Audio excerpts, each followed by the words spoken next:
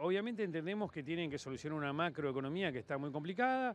Eh, en general, el productor, y nosotros pensamos así, estamos de acuerdo en el rumbo que, se está tomando, de un Estado más eficiente, eh, más chico, más eficiente, con menos carga impositiva sobre el productor como rumbo, ¿no? E insertarnos en el mundo, realmente. En eso estamos totalmente de acuerdo. Por supuesto que la, coyuntura es compleja.